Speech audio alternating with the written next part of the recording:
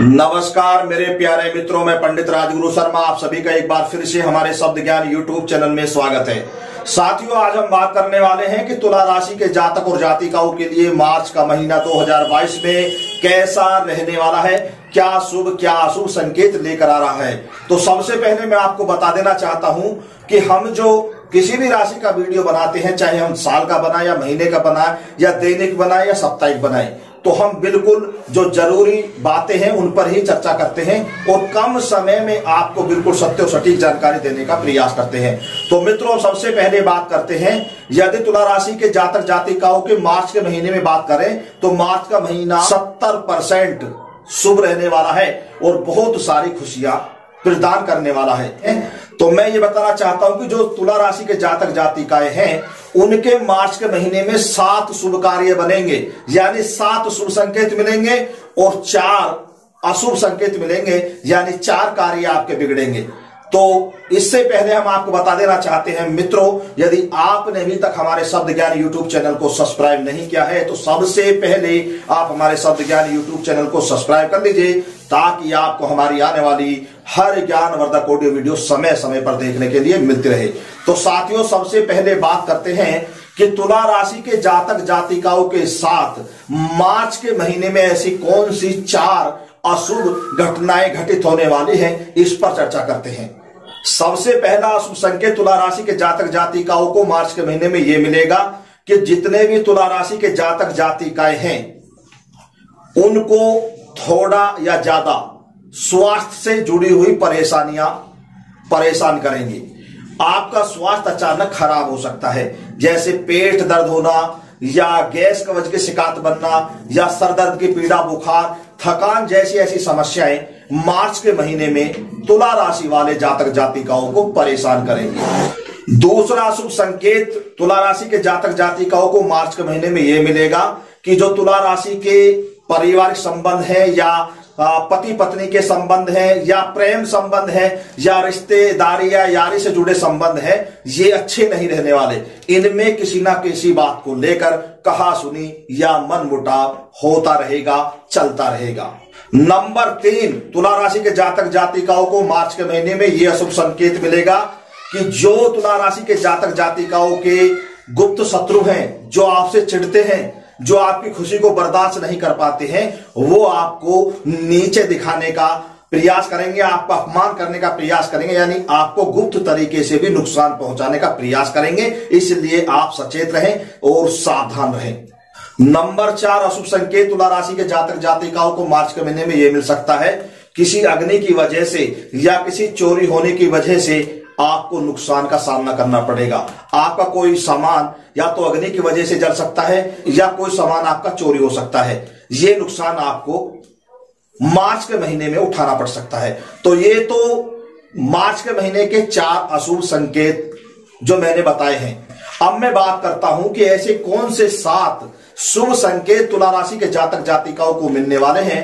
अब उन पर हम चर्चा करते हैं। सबसे पहला शुभ संकेत तुला राशि के जातक जातिकाओं को मार्च के महीने में यह मिलेगा कि तुला राशि के जातक जातिकाएँ चाहे कोई भी कार्य करते हुए आ रहे हैं, नौकरी, बिज़नेस, व्यापार कर रहे हैं या नया कोई भी उद्योग धंधा करना चाह रहे हैं तो यदि आप उनमें हाथ डालते हैं या थोड़ा सा भी और प्रयास करते हैं तो आपको अपार सफलताएँ प्राप्त होंगी और आपके भाग्य का और आपकी सफलताओं का सितारा चमकता हुआ नज़र आएगा। यानी आपको लाभ ही लाभ मिलेगा। नंबर दो, शुभ संकेत तुला राशि के जातक जातिकाओं को यह मिलेगा कि यदि तुला राशि के जातक जातिकाएँ कोई भी सोच विचार कर मार्च के महीने में निर्णय लेते हैं तो वो बिल्कुल सटीक और प्रमाणित होंगे। यानी उनमें आपको सफलता मिलने से, उनमें आपको कामयाबी मिलने से कोई नहीं रोक सकता। नंबर तीसरा सुसंकेत यह मिलेगा तुला राशि के जातक जातिकाओं को देखने के लिए मार्च के महीने में, क्योंकि तुला राशि के जातक जातिकाओं के कुछ पूजा पाठ से जुड़े कार्य रुके हुए आ रहे हैं। और वो मन से ये चाह रहे हैं कि हम ये पूजा पाठ दयादान या हवन कथा कुछ भी करें धार्मिक कार्य में आपकी आस्था और विश्वास बढ़ेगा, जिसमें आप बढ़ चढ़कर भाग लेने वाले हैं।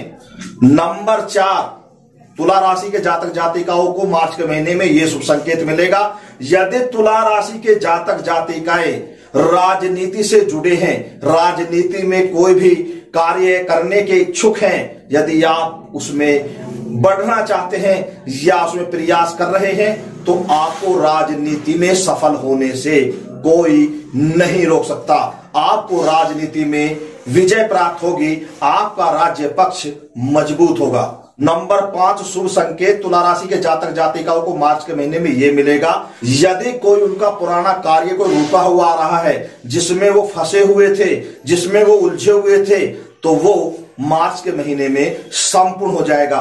चाहे वो कर्ज का हो, या फिर किसी संपत्ति का हो, या फिर कोई बिज़नेस व्यापार हो, जिसको लेकर आप परेशान होते हुए आ रहे हैं कि ये कार्य हमारा कब बनेगा, कब पूरा होगा।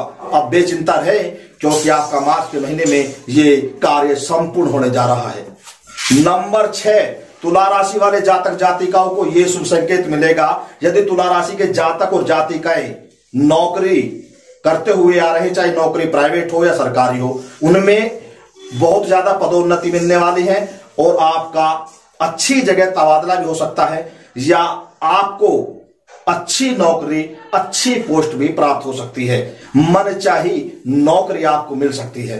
नंबर सात, तुला राशि के जातक जातिकाओं को यह शुभ संकेत मिलेगा। यदि तुला राशि के जातक और जातिकाएँ कमीशन, सट्टा बाज़ार, प्रॉपर्टी डीलिंग या ठेकेदारी के कार्यों से जुड़े हैं तो उनको मार्च के महीने में धन की बहुत ज़्यादा प्राप्ति होने वाली है और इन कार्यों में आपको बहुत ज़्यादा लाभ मिलेगा। और सबसे बड़ी बात तो यह है कि आपको सफलताओं के साथ साथ धन लाभ होने के साथ साथ बाहर वालों का, अनजान व्यक्तियों का सहयोग मिलेगा और बड़े बड़े अधिकारियों से आपका संपर्क बनेगा। यानी आपको समाज में कई जगह मान सम्मान भी मिलेगा। और जो व्यक्ति गीत, संगीत, गायन, वादन खेल कूद व्यायाम या लेखन, प्रकाशन से भी जुड़े हैं, उनको भी इन कार्यों में अपार सफलताएँ प्राप्त होंगी और सम्मान भी खूब मिलेगा। तो मेरे प्यारे साथियों, जितने भी तुला राशि के जातक, जातिका हमारे इस वीडियो को देख रहे हैं तो मित्रों, जो हमने आपको ये जानकारियाँ दी हैं, या मार्च के महीने का आपको ये राशि फल बताए बिल्कुल सत्य और सटीक है, आप अजमा कर देख सकते हैं। हम जो भी बारह राशि का राशि फल बताते हैं, बहुत ही सोच विचार कर और निचोड़ निकाल कर आपके सामने पेश करते हैं। तो साथियों, यदि आपको हमारी बताई हुई जानकारी, ये हमारे वीडियो आपको पसंद आए तो ज़्यादा से ज़्यादा लाइक एंड शेयर करना और कमेंट बॉक्स में ज़रूर बताना। यदि कोई भी भाई बहन अपनी जन्म कुंडली, हस्तक रेखा, मस्तक रेखा दिखवाना चाहता है या फिर अपनी जन्म कुंडली बनवाना चाहता है तो वो व्यक्ति हमसे संपर्क कर सकता है, हमसे जुड़ सकता है और अपनी समस्याओं का निवारण करा सकता है। लेकिन साथियों, में आपको जानकारी और दे देना चाहता हूँ कि तुला राशि के जातक जातिकाओं के लिए मार्च के महीने में कुछ तारीखें कष्ट भरी रहेंगी, वो भी आप लिख लीजिए या ध्यान से याद कर लीजिए। तो वो कौन कौन सी तारीख है, ये भी आप सुन लीजिए। एक, नौ, अठारह, तेईस और अट्ठाईस। ये तारीखें तुला राशि के जातक जातिकाओं के लिए मार्च के महीने में कष्ट भरी रहेंगी। इसलिए आप संयम के साथ और मीठी वाणी के साथ अपने समय को गुजारने का प्रयास करें। क्योंकि मीठी वाणी से दुश्मन भी अपना हो जाता है और पत्थर भी पिघलने लगते हैं। सबसे बड़ा तरीका और सबसे बड़ी शक्ति हर इंसान के पास यही होती है। तो दोस्तों, यदि हो सके तो आप नियमित हनुमान चालीसा का पाठ करते रहें, क्योंकि हनुमान चालीसा पढ़ने से बड़े बड़े दुखों का नाश हो जाता है और आपको जीवन में अपार सफलताएँ प्राप्त होती है और आने वाले संकटों से निजात मिलती है। तो दोस्तों, अब मैं यहीं पर अपनी वाणी को देता हूँ विराम और आप सभी को करता हूँ नमस्कार। फिर मिलेंगे नई ऑडियो वीडियो के साथ। जब तक के लिए पंडित राजगुरु शर्मा का आप सभी को जय हिंद जय भारत।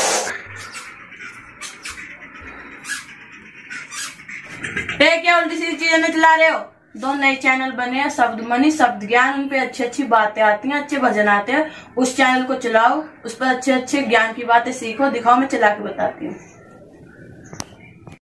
यहाँ देखो गौर से इस तरीका से खोलना है चैनल। ये रहा शब्द मनी।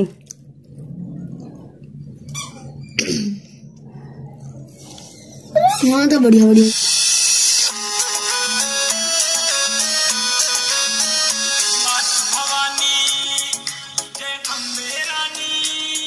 आज से इस चैनल को देखना है आप सबको। मैं तो अभी निकाल रहा हूँ। मैं भी अभी निकाल रहा हूँ।